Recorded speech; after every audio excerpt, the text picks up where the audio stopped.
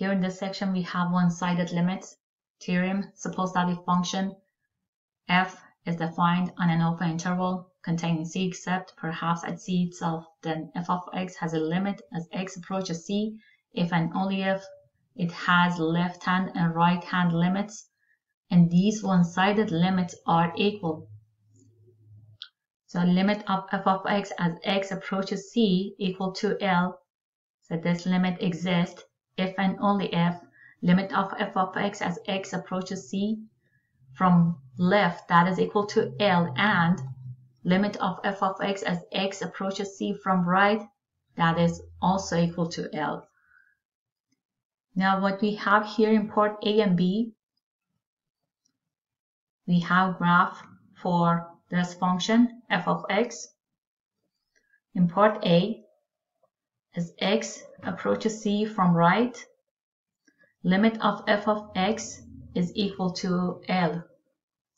And what we have in part B, as x approaches c from left, limit of f of x is equal to m. The following function has a right hand limit 0 at x equal to negative 2 and left hand limit 0 at x equal to positive 2. So limit of f of x as x approaches negative 2 from right is 0 and limit of f of x as x approaches 2 from left is 0. Use the graph below to determine the right hand limit at x equal to negative 3, right hand and left hand limit at x equal to 0. Limit of f of x as x approaches negative 3 from right, that is equal to 9, this point, because of having this point on this graph.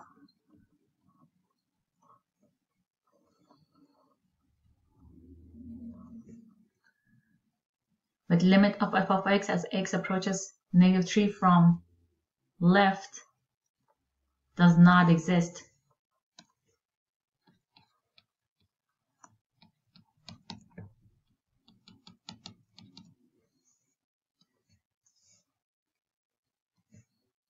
Limit of f of x as x approaches 0.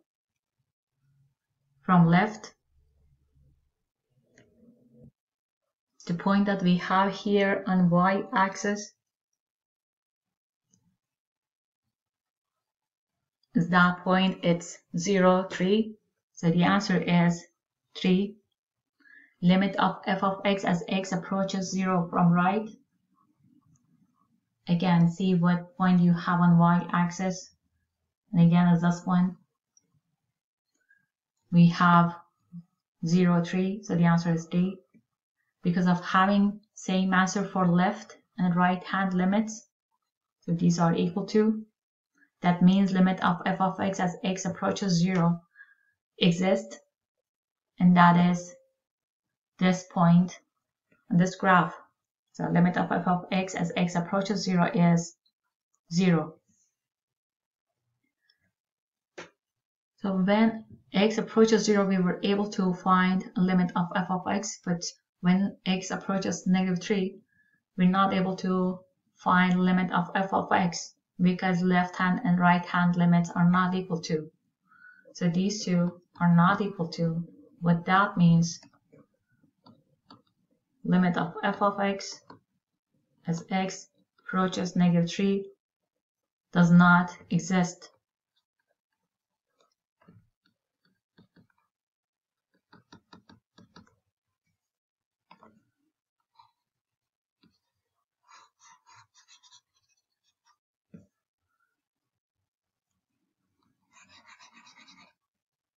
Use the graph below to determine the right hand and left hand limits at x equal to 4. The limit of f of x as x approaches 4 from left is based on this part of graph.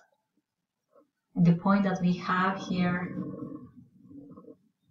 is this one moving to left, finding the number that you have here on y-axis, that is 3. So this is the answer that you should have for left-hand limit. We can also substitute for Instead for x, we have 7 minus 4, that is 3.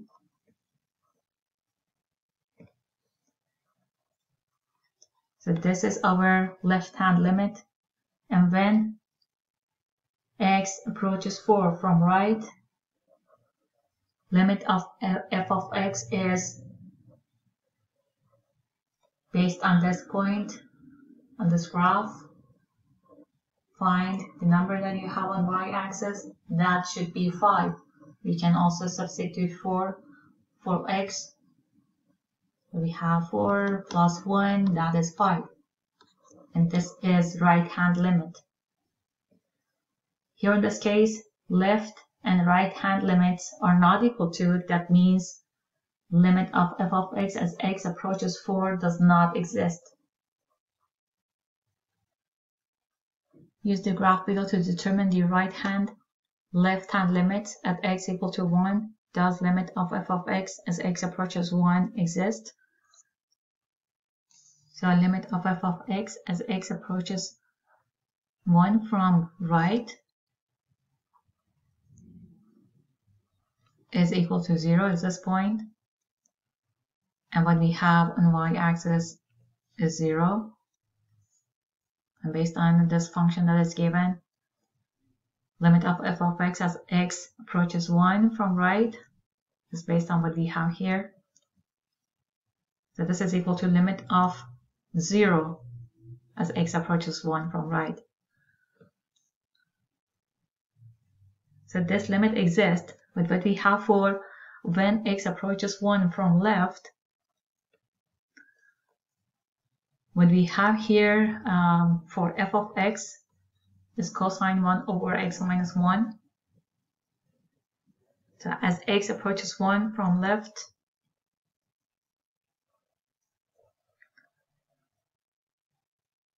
limit of f of x does not exist. That means there is no real number to which the function's values stay increasingly close as x approaches 1 from the left side. This means limit of f of x as x approaches 1 does not exist because limit of f of x as x approaches 1 from left and from right, these two are not equal to. So limit of f of x as x approaches 1 does not exist because the left hand and right hand limits are not equal. Graph the function then answer these um, questions.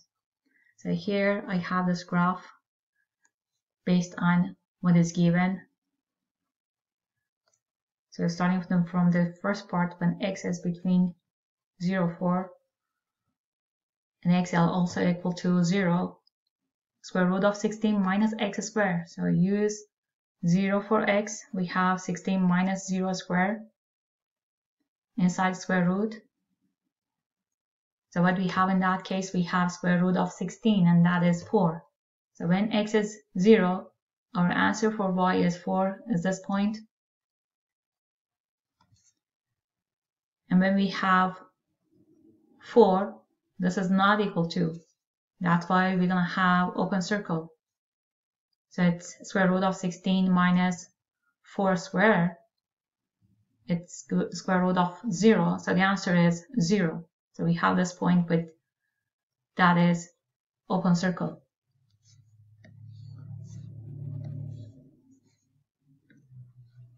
then what we have between 4 and 8, x is equal to 4.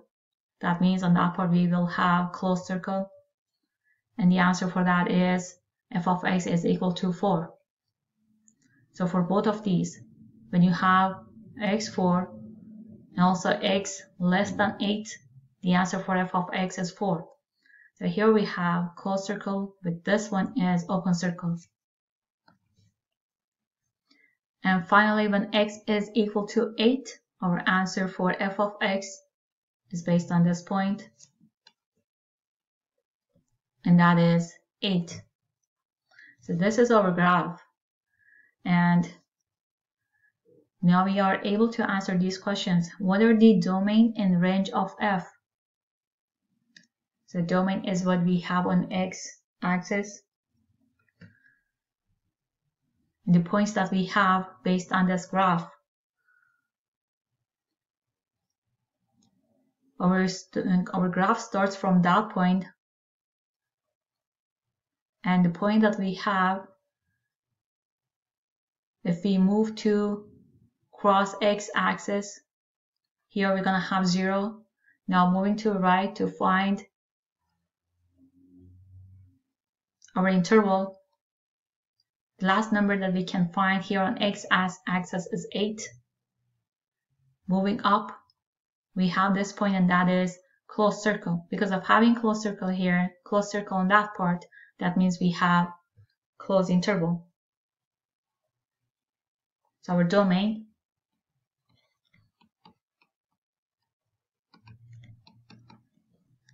starting from left we have bracket 0 comma 8 bracket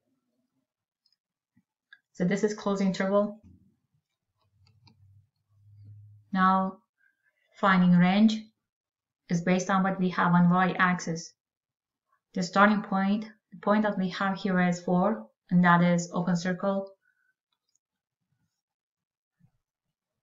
So this 4 is on x-axis. What we have on y-axis is 0. We have parentheses 0, comma, moving up. We have this point and also we have this one and that is 4 on y-axis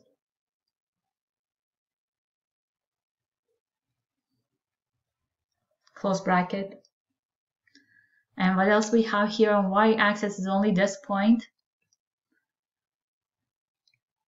we have nothing between this one and what I have on top so nothing is here in between. That's why I have to use union, combining these two. And here I will use that to write the point that I have here on this part and y-axis. So this is our range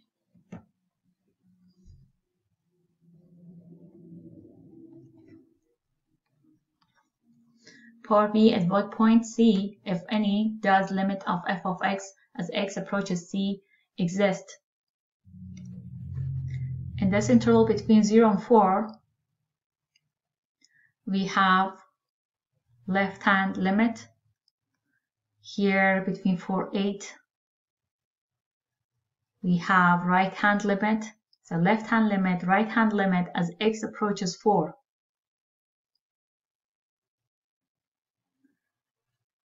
So we have two-sided limit as x approaches 4. But when we have x equal to 0 or x equal to 8, we only have one-sided limit. So as x approaches 0 from right, that is our limit. And as x approaches 8 from left, we have this point.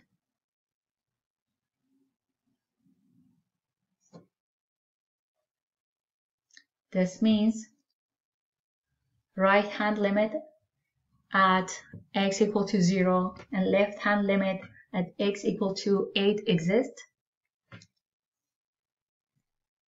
So the function f of x has a two-sided limit at each point in this interval 0, 4, union 4, 8. Notice that the function f of x does not have a two-sided limit at x equal to 0 and x equal to 8. However, the function f of x has a right-hand limit at x equal to 0 and left-hand limit at x equal to 8 based on what I described here. So we have right-hand limit at x equal to 0 and left hand limit at x equal to 8. Because of that, the points c where limit of f of x, x approaches c exist, those points are um, starting from 0 closed interval we have bracket 0 comma 4 parentheses union parentheses 4 comma 8 close bracket. So this is our final answer for part B. Definitions.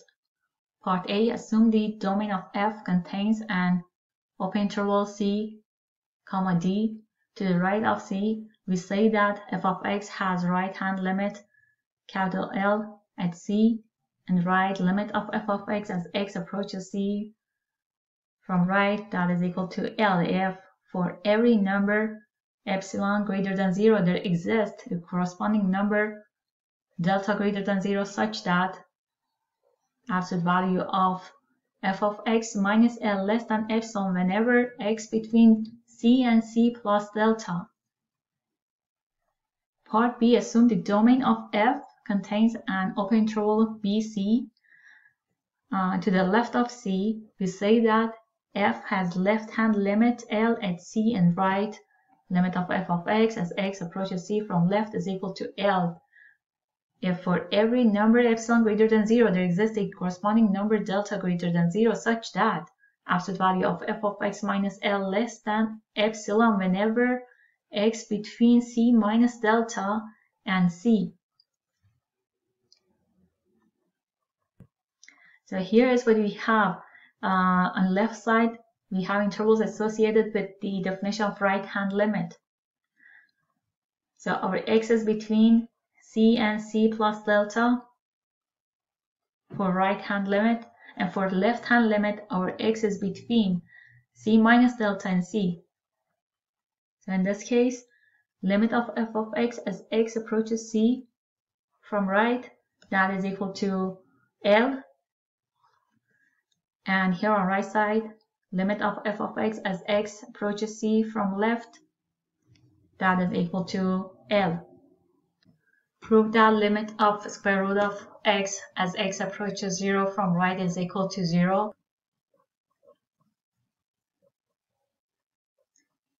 let epsilon greater than 0 be given and here in this case what we have c is 0 and l is 0 um, that's because x approaches 0 and here our answer for limit says that that is 0 so this is l and here on this part we have c. So we want to find a delta greater than 0 such that absolute value of square root of x minus 0 less than epsilon whenever x is between 0 and delta. Or square root of x less than epsilon whenever x between 0 delta. Note that square root of x is greater than 0 as absolute value of square root of x is square root of x. Now using second proverb for left and right side we have x less than epsilon squared and that is if x between 0 and delta. And if we choose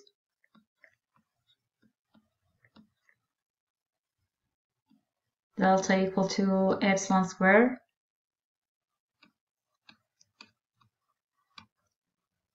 we have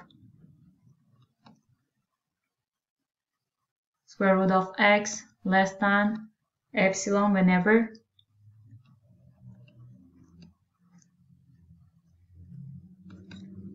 X between 0 delta and delta here I said that equal to epsilon squared or absolute value of square root of x minus 0 less than epsilon whenever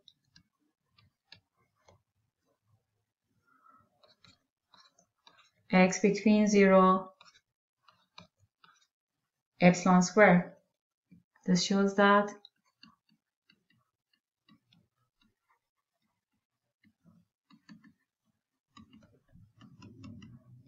limit of square root of x as x approaches 0 from right, that is equal to 0.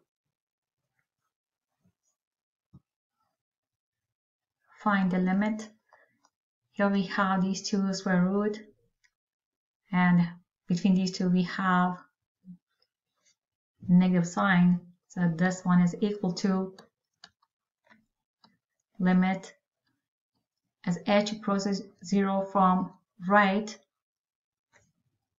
rewriting what is given and then multiply numerator and denominator both of these by square root of h squared plus 10h plus 13 instead of subtraction now we have addition between these two square roots. So we have plus square root of 13 so multiply both numerator denominator by same thing so I might multiply both numerator denominator. What I have in numerator is h squared plus 10h plus 13 minus 13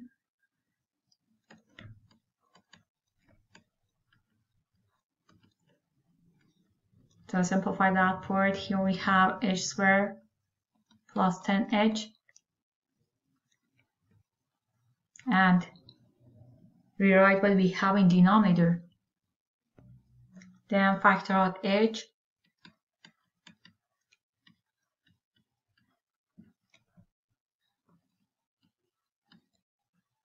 So we have h times h plus 10 divided by denominator.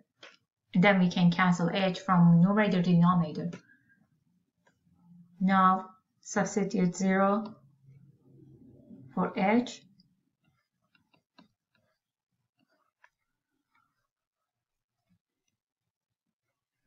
So on top we have 0 plus 10, denominator we have square root of 0 square plus 10 times 0 plus 13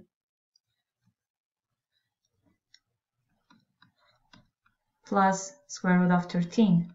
So on top we have 10. Denominator we have 2 times square root of 13. So the answer is 5 divided by square root of 13. Find limit of f of x as x approaches c from right and limit of f of x as x approaches c from left for the given function and value of c. So what we have here f of x is equal to x plus 11 multiplied by absolute value of x plus 9 divided by x plus 9 when c is equal to negative 9. The expression absolute value of x plus 9 for values of x that are greater than negative 9 is equivalent to x plus 9. So for values of x greater than negative 9, our function is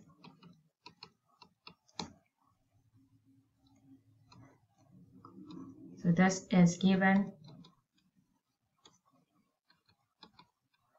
x plus 11 times absolute value of x plus 9 divided by x plus 9 that is equal to x plus 11 times absolute value of x plus 9 in this case is x plus 9 divided by x plus 9 so simplify here we have x plus 11 this means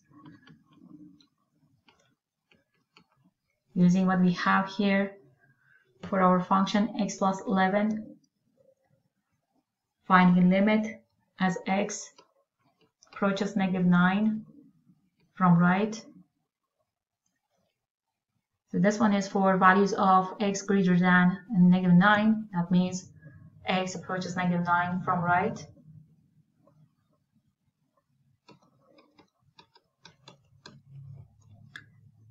So x plus 11 times absolute value of x plus 9 divided by x plus 9 that is equal to limit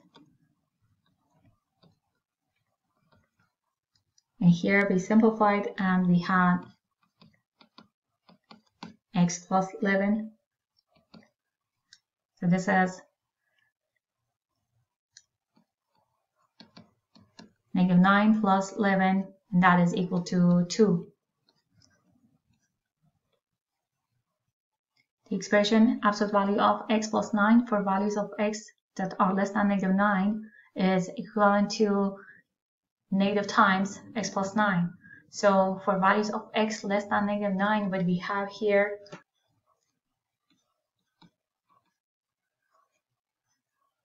x plus 11 times absolute value of x plus 9 divided by x plus 9 in this case is equal to x plus 11 times negative times x plus 9 divided by x plus 9 so simplify. This is equal to negative times x plus 11 now finding limit as x approaches negative 9 from left.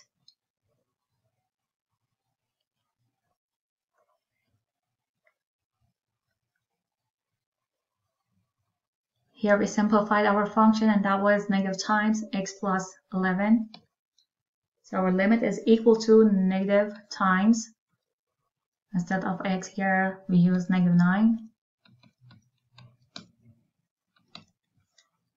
And the answer is negative 2. Theorem limit of ratio sine theta divided by theta as theta approaches 0 is equal to 1. Here we have graph of f of theta equal to sine theta divided by theta. This one suggests that the right and left hand limits as theta approaches 0 are both equal to 1. So we have same answer for left hand and right hand limit. That's why limit of f of theta exists. Now what we have here is to find tangent theta that is equal to, so here is our theta, and tangent theta is equal to opposite side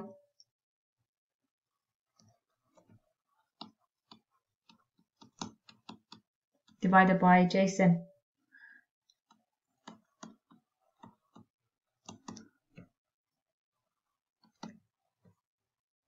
So that is equal to this side, TA divided by OA. And OA is equal to 1. That means what we have here is TA divided by 1. So that is equal to TA. using limit of sine theta divided by theta as theta approaches 0 equal to 1, find the following limit. So this is equal to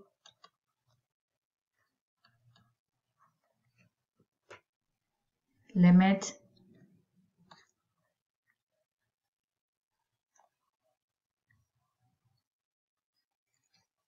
writing these separately and then that is equal to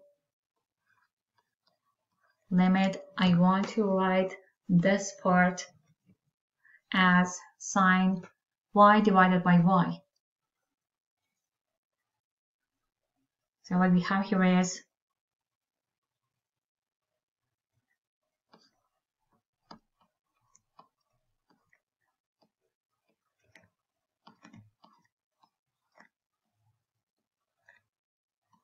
plus 2 over 9 times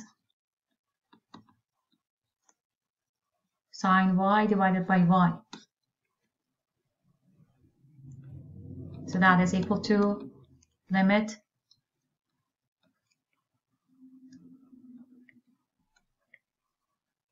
Now simplify, so we have 7y divided by 9 minus limit 1 over 9 plus limit 2 or 9 times sine y divided by y. And for all of these, y approaches 0. So this is equal to, now using 0 for y, here we have 7 over 9 times 0, that is 0, minus limit of 1 over 9 when y approaches 0 is 1 over 9, plus here we have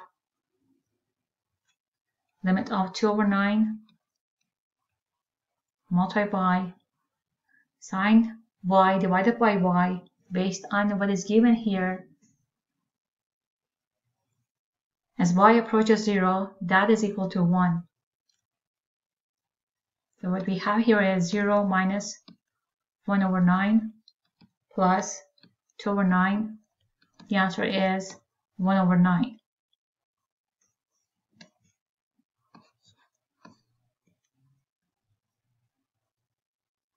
Find the limit using limit of sine theta divided by theta as theta approaches 0 equal to 1. So this is equal to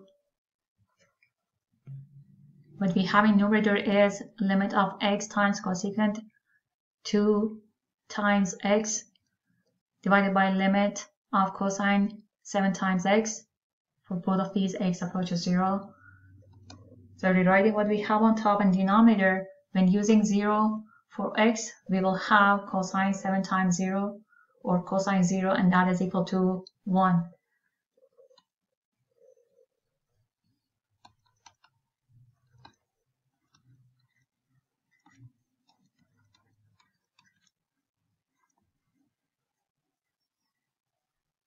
So this is equal to limit of cosecant 2x as x approaches 0.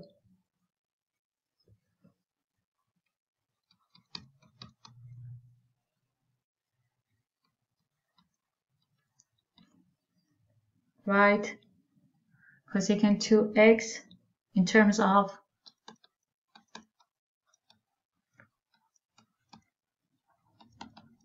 sine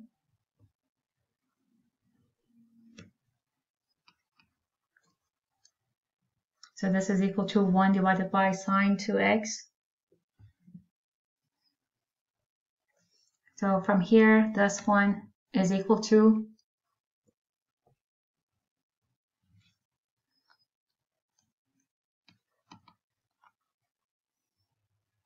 limit x divided by sine 2x as x approaches 0.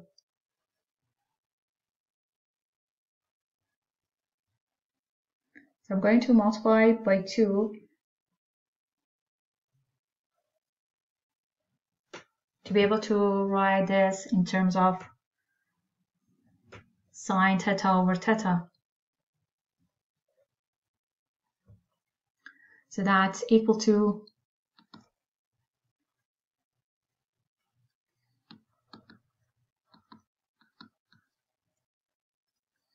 So multiply both numerator and denominator by same number. In this case, because of having sine 2x, here I have 2 times x. That's why I multiply by 2 to have same thing. So whatever you have after sine, that is 2x. I want to have same thing here on top. So multiply by 2 to have 2x. And here denominator, same thing, multiply by 2.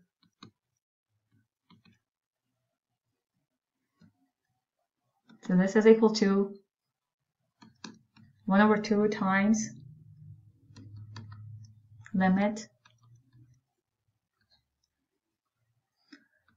to x divided by sine 2x. And that is equal to 1 over 2 times limit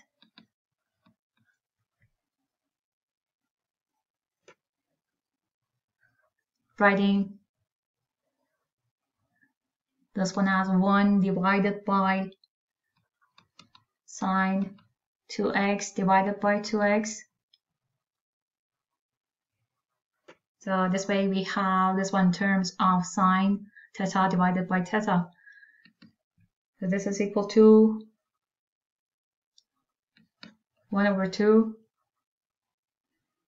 multiplied by 1 divided by sine 2x divided by 2x as x approaches 0 is equal to 1.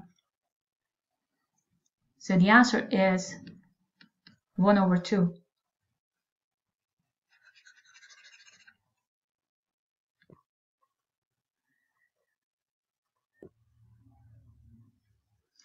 For this part, uh, we have to recall that half angle formula for cosine is equal to 1 minus 2 times sine square uh, x divided by 2. So for this part, recall.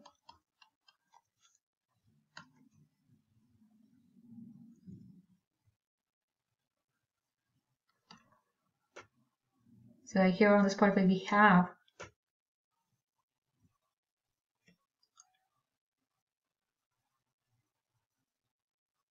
limit um, of 2 times sine square theta divided by 2 over sine 25 theta as theta approaches 0. This is based on um, what we have for half angle formula. So the one that we have in numerator is based on half angle formula and this is equal to so here in this case um, regroup the terms to get terms of the form sine x divided by x so what I have here is um, for numerator, we have 2 sine square. So what I did, I multiplied by theta and divided by theta, uh, divided by 2, both numerator and denominator. So here are these two. But this is what I did on top only. Um, so multiply by theta over 2 divided by theta over 2 so in this case, what we have here on the support, we have this one in the form of sine x divided by x. And then because of having this second power, we again multiply by sine theta over 2. And in denominator, we have sine 25 theta. In this case, again, we want to have in the form of sine x over x. So we should have sine 25 theta divided by 25 theta. So here again, I multiply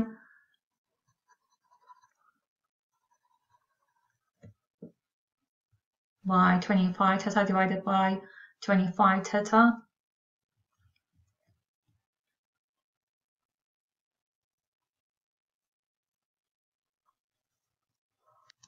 to have this one in the form of sine x divided by x. Now we can uh, simplify. So here, this part cancels. Theta divided by theta, that part cancels. So what's left here on this part is 1 over 25.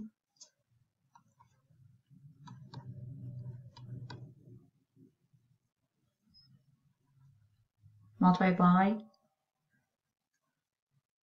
what we have on top here is sine theta divided by 2 over theta divided by 2 times sine theta divided by 2.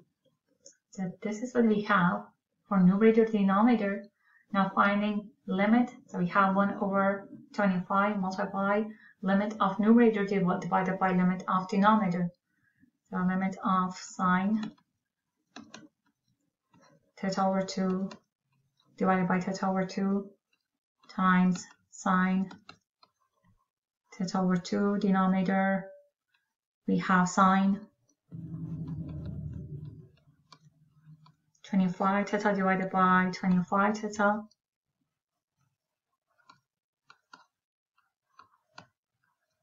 so that is 1 over 25 times sine theta over 2 divided by theta over 2 that is equal to 1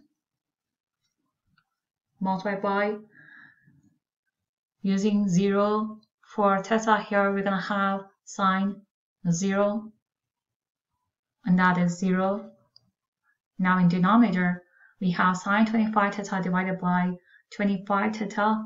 Limit for this part based on what we have here in our theorem that is equal to 1. So the answer is 0.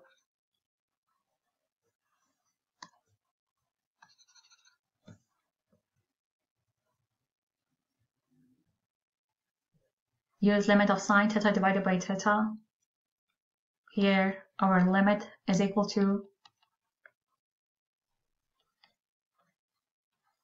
limit of we can simplify this part. Phi over 6 times sine 8x divided by 8x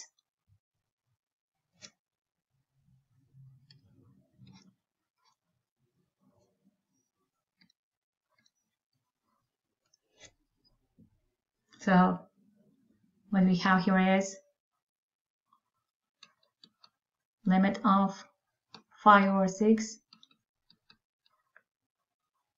multiplied by limit of sine 8 x divided by 8x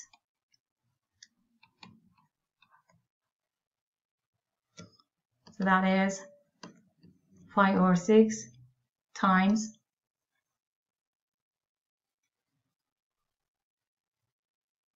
what we have here limit of sine 8x divided by 8x as x approaches 0 that is equal to 1 so the answer is 5 or 6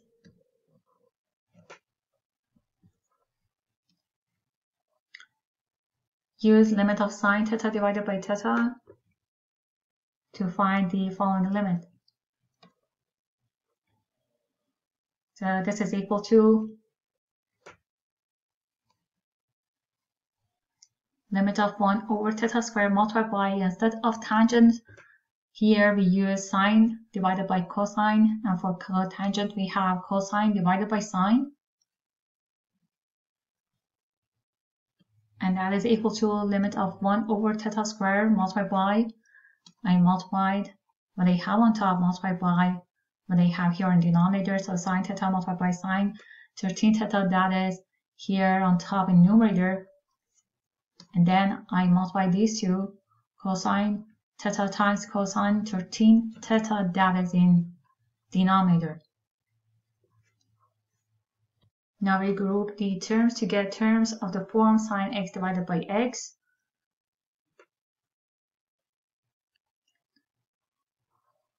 So here I have to multiply by 13 with numerator denominator. So I can have in the form of sine x divided by x. So what I did, multiply by 13 here and multiply by 13 on that part. So because of this, we can have sine 113 theta divided by 13 theta.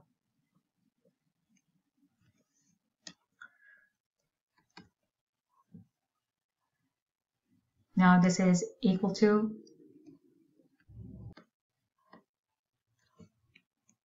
So finding limit of these terms individually, this is equal to 13 times limit of 1 over cosine theta multiplied by limit of 1 over cosine 13 theta multiplied by limit of sine theta over theta and finally multiplied by limit of sine 13 theta divided by 13 theta.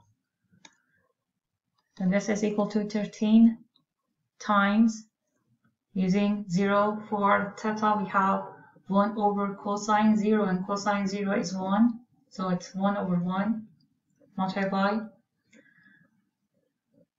for cosine 13 theta. We have cosine 13 times 0 so it's cosine 0 again it's 1 over 1 limit of sine theta over theta as theta approaches 0 that is equal to 1 that is based on what we had in our theorem. And here, same thing. This is in the form of sine x over x. We have sine 13 theta divided by 13 theta as theta approaches 0. So that is equal to 1, meaning that our answer is equal to 13.